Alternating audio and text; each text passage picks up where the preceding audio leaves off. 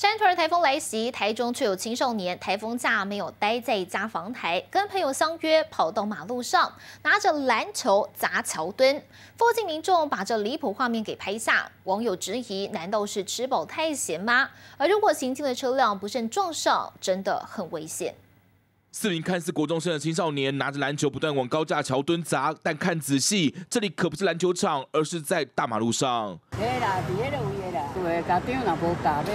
三号台中释放台风假，却没有在家防台，却跑到马路上拿球乱砸。过程中有车辆经过，差一点点就撞上，真的很危险。当然咯，要听电的。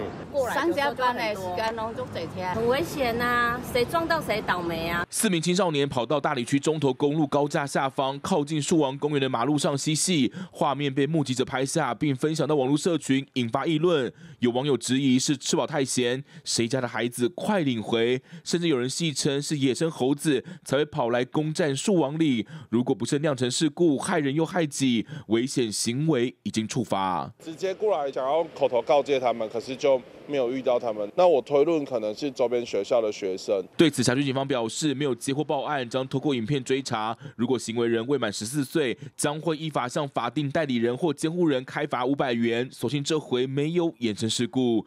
记者林松宏、杰明、陈世杰台中报道。